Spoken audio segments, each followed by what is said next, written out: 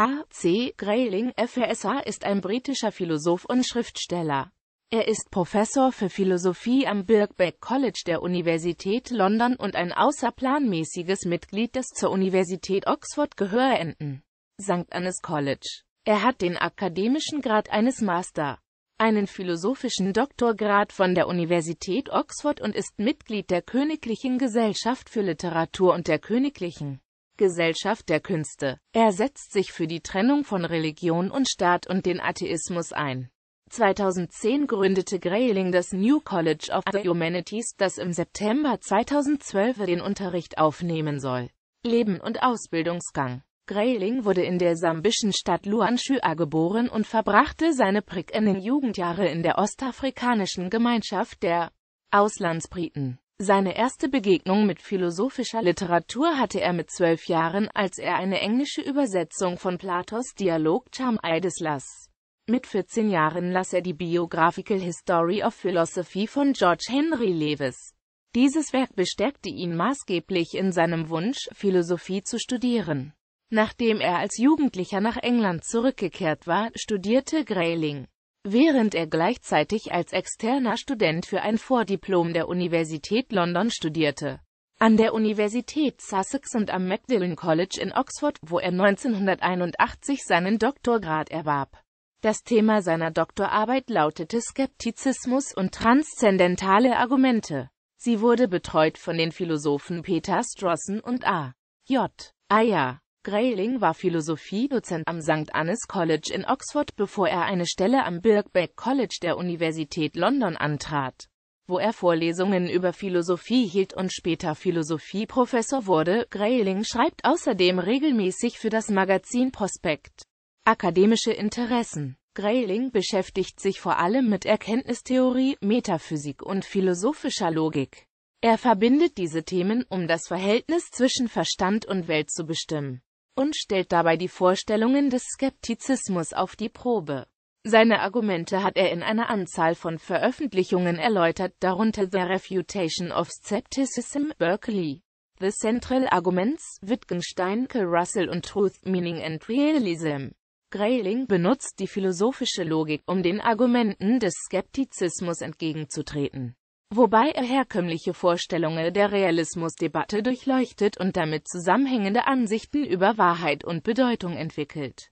Beschrieben hat er seine Vorstellungen in den letzten Kapiteln von An Introduction to Philosophical Logic und weiterentwickelt in einer Reihe von Schriften darunter Epistemology and Realism und Independence and Transcendence, The Independence Thesis and Realism. In diesen Publikationen bringt er die Idee vor, dass wir Realismus für eine in erster Linie erkenntnistheoretische, statt einer metaphysischen oder einer semantischen, Vorstellung über das Verhältnis von Verstand und Welt halten sollten. Grayling hat vielerorten über zeitgenössische Themen wie Kriegsverbrechen, die Legalisierung von Drogen, Sterbehilfe, Säkularismus und Menschenrechte geschrieben. Gemäß seiner Überzeugung, dass Philosophen in öffentliche Debatten eingreifen sollen, wendet er als Kommentator in Radio und Fernsehen eine philosophische Sichtweise auf Alltagsthemen an. Zwischen 1999 und 2002 schrieb er unter dem Titel The Last Word eine wöchentliche Kolumne in The Guardian. In diesen Beiträgen, die auch die Grundlage für eine Reihe allgemeinverständlicher Bücher wurden, machte Grayling Grundlagen der Philosophie Line zugänglich.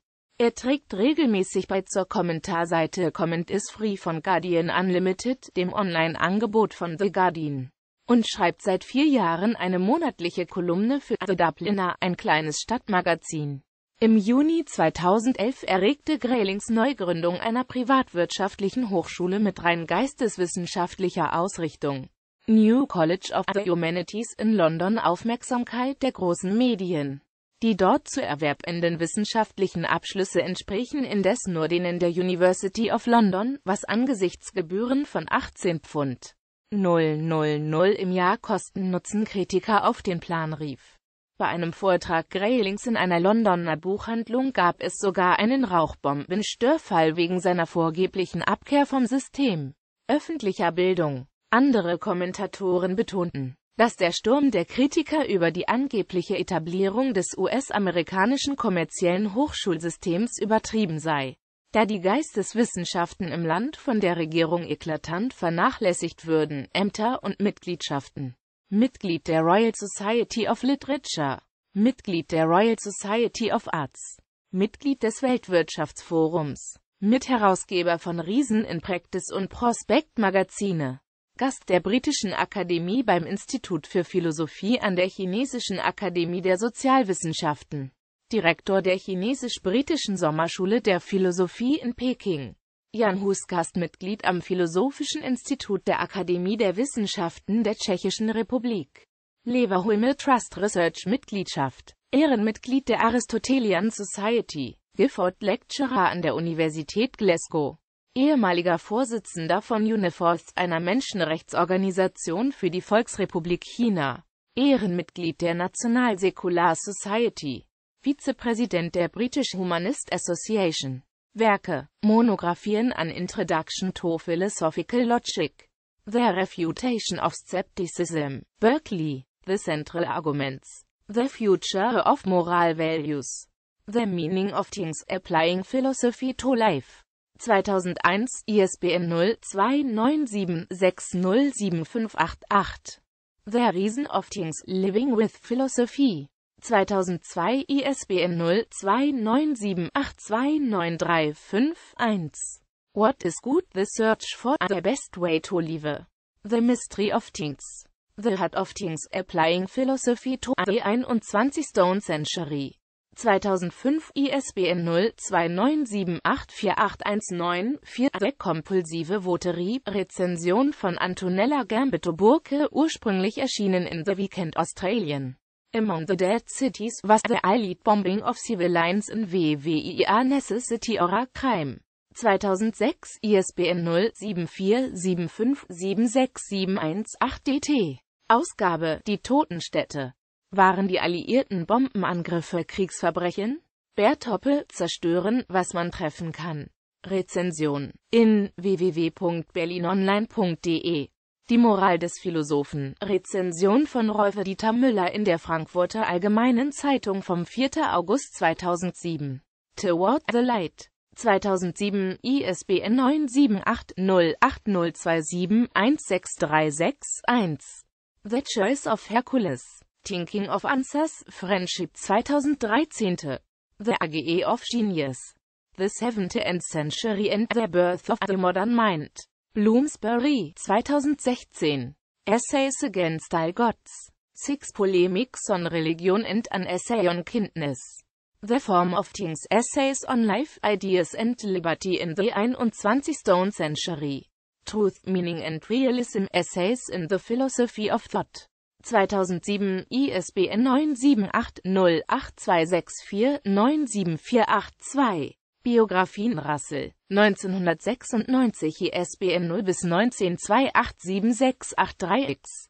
Wittgenstein, 1988 ISBN 019-28766767 dt. Ausgabe Wittgenstein. Herder, Freiburg, Basel, Wien 1999 ISBN 3 bis 451 04739-X. The Quarrel of the AGE.